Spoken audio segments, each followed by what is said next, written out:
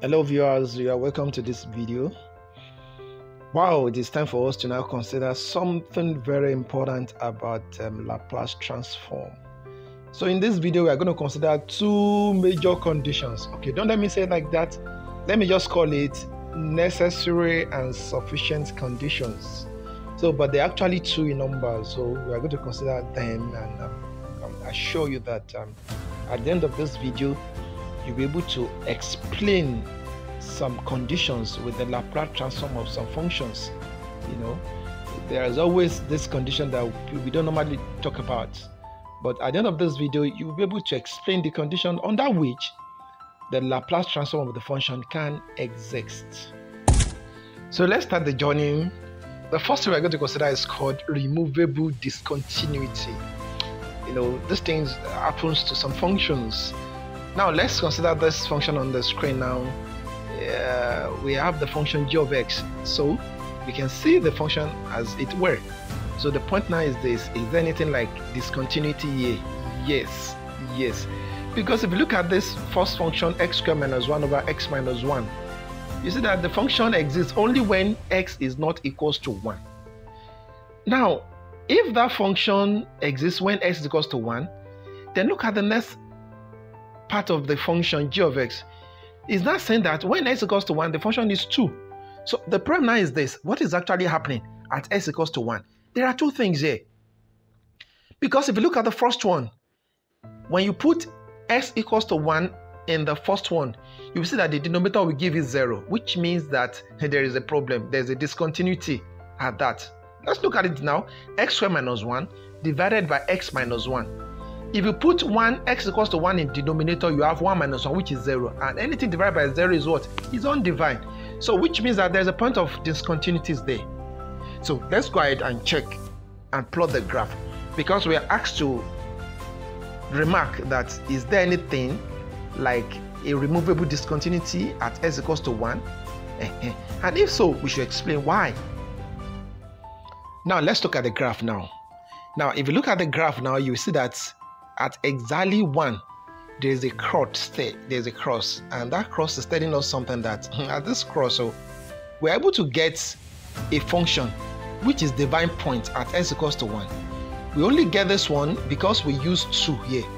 But if you put 1 in the first one, which is eh, 1 minus 1, you get divided by 0, which is undivine.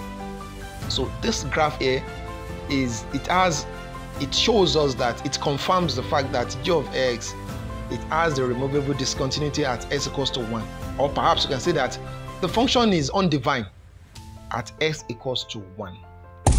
If you notice in the previous slide, I mentioned the fact that um, that particular function g of x there, the denominator is the major problem. Because the denominator at s equals to 1 will give us a serious problem, which is undivine. So if you look at this function that we've just called this particular function that we just remark, notice that it has a point of discontinuity at s equals to 1. So what can we do about it? Let's look at the function again. We can factorize the, the numerator, you know, x squared minus 1. We can factorize it to get what you can see on the screen. Now, if you look at it, you see now that there is a component of the numerator that can cancel the denominator. So if that is the case, you see that x minus 1 will cancel x minus 1.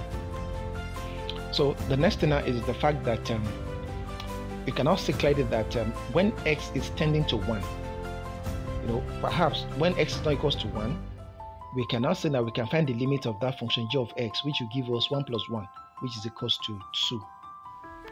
So one thing we can now deduce from here is the fact that um, the function g of x, when exactly when x equals to 1 is 2, which gives us the limit to be equals to 2. So that is how to obtain the limit for that function. You know, we should not just look at it as the fact that that function it has a point of discontinuity as x equals to 1 we can actually find the limit. So the limit actually exists and the limit is equals to 2 but we should not forget the fact that uh, g of x it has a hole at s equals to 1 aha. And that particular hole is because the denominator is 0 because it's 0 divided by 0 which we can actually get from the expression x squared minus 1 over x minus 1.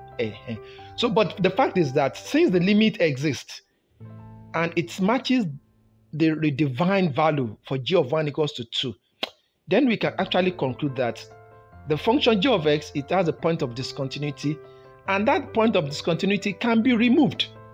It can actually be removed. So in summary now, you know, after considering that particular function g of x, we can see that um, it's possible to explicitly define uh, the function g of x at x equals to 1 to give us 2, you know, and the function becomes continuous everywhere. So in this case, you know, we can actually say that the discontinuity is already removed because what g of 1 is correctly defined. In fact, if you now take a look back at the function, let's look at it again, you now see now that x squared minus 1 over x minus 1 is telling us that this function here, it's discontinuous at x equals to 1. But despite that, at x equals to 1, the same function g of x is still equals to 2. So this is a very good indication, indicator that uh, the point of discontinuity can be removed. So the function g of x, it has a removable discontinuity at x equals to 1. And the reason is because the original definition, it creates a hole. But the limit exists, and the limit actually matches g of 1. So we can say that the discontinuity is removed by dividing g of 1 to equals to the limit at x tends to 1, g of x equals to 2. Most importantly, the original definition of x squared minus 1 over x minus 1, it results in a hole at x equals to 1 due to division by 0. But however, the limit as x tends to 1 is 2, and the function is defined at x equals to 1 to match the limit. The discontinuity is removed by explicitly redefining g of 1 to be equals to 2 and making g of x to be continuous everywhere. So because of this, I can answer that the function, uh, despite the fact that it has a point of discontinuity, mm-hmm, but the, by the fact that um, that point of discontinuity can be removed, then we can answer that the function is actually continuous.